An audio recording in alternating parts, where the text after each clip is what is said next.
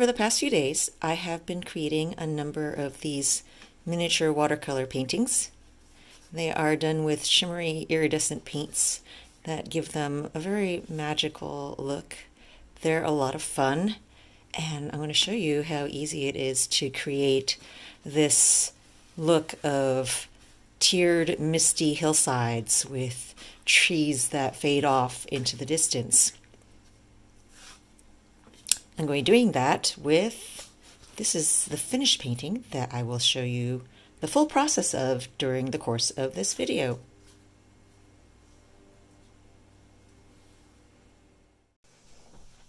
I have here a one inch flat brush and my paper, watercolor paper, taped down to the board to prevent it from warping because I'm going to be doing a lot of water and wet techniques in this. So first of all, I'm just wetting down my entire page. Now, I am going to do some wet and wet washes to start things off. I'm going to begin with some of this rosy pink color.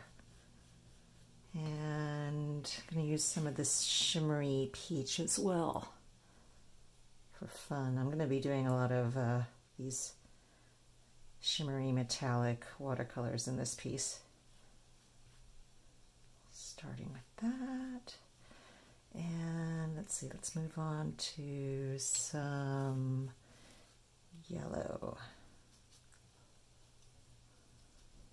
Working relatively fast, but it doesn't have to be super uh, super quick with this because I have so much water on this page. Things aren't really going to dry I'm not really worried about that, but it's uh, just getting some colors down. So I'm going to start with this, tilting things to let them blend a little bit better. This lets the layers of colors blend down into each other. And then I'm going to just let this sit and dry. It'll probably take a while so I'll go off and do something else for a little bit and come back when this has dried up. It's always a challenge for me to use a lot of pink in a painting because it's my least favorite color.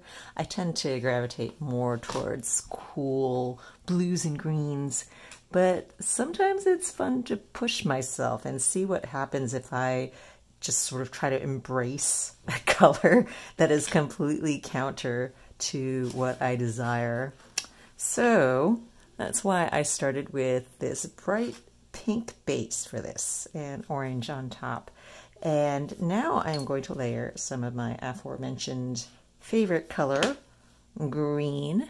I'm going to get some of that onto my brush here. And I have a number two round that I'm using, one with a nice point on it so that I can get, I can have both the ability to hold a lot of liquid in washes, but also do some detailing when necessary.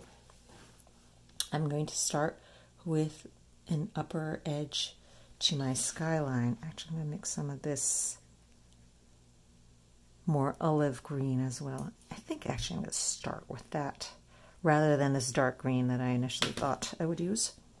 Okay, yeah, I like that better against the yellow. And I'm going to start creating the upper edge of my hillside skyline.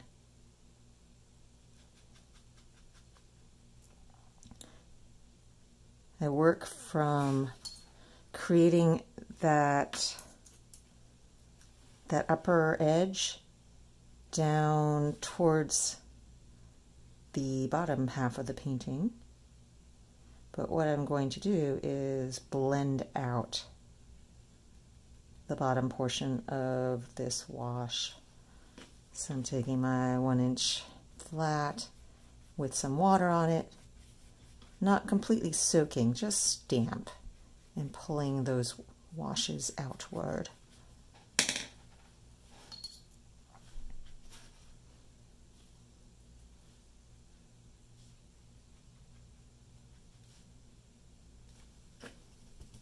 I don't have a plan for the shape of what this landscape piece will be.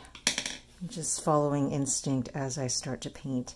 I was thinking originally to have a hillside skyline that goes across the whole thing, but now as I painted, I had this hard edge here and it already brings to mind a cliff edge, and so I'm going to go with that and maybe have a mirroring cliff side on the other half so that it looks like there's this ravine that splits the scene.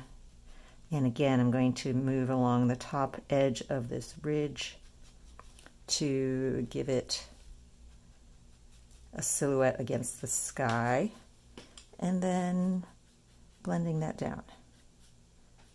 Now I'm going to let this dry, so I'm not going to touch it for maybe five ten minutes. It doesn't take too long at this stage because there's not so much liquid involved as it was in the initial washes. This is fairly dry. You can see there's a little bit of a sheen to things because there's some water, but not the sopping wetness that I had initially. That took about an hour before I was able to touch the page again.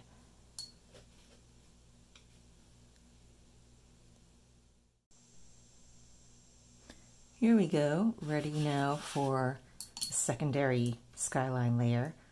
I am going back to that olive green once again. This one over here. Mixing with a little bit more of this forest green and maybe adding a little bit of this sparkle.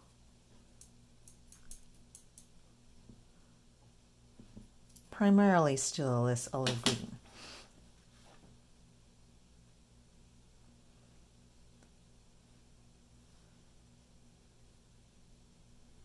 And then I do a similar treatment to what I did for my first wash,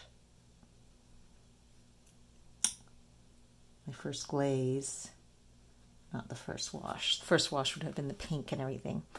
And I do this tree line at the top.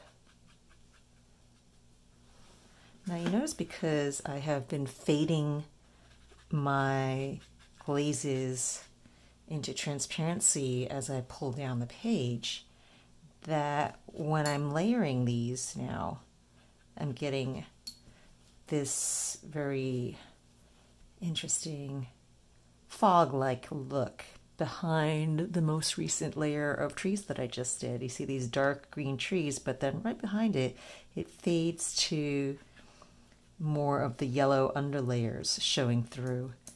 And that's why I am, that's why I'm blending out as I go down. And that's why I have to let each of these layers dry before I work in the next one because each one, each layer overlaps the previous one by a portion of it. I leave the upper darkest areas, but each one sort of pulls up right against the base of the previous layer. I'm not going to bring that one all the way across because I actually want the next layer to overlap both of these two and pull up against the cliffs at the very back. So I'm going to do something on this side on the far side of the ravine.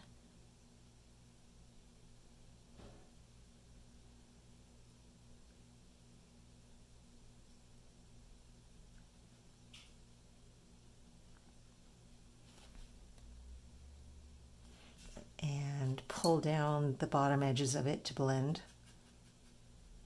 And once again, let this dry.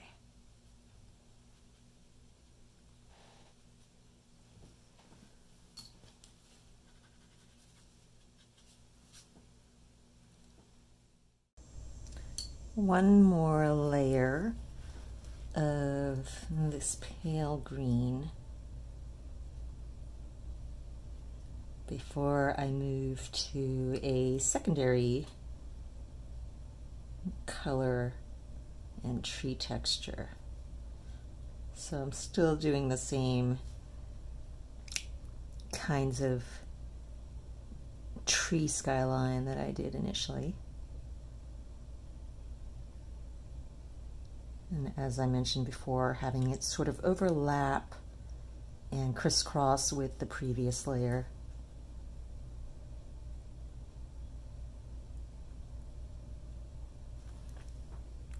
And coming towards the edge here, give it a little bit of a secondary cliff side as well. And then blending down.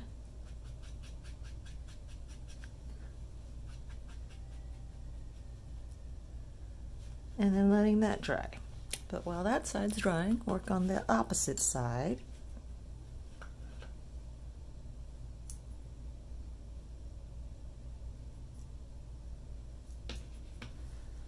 With a similar treatment. So the cliff side here and then the tree skyline.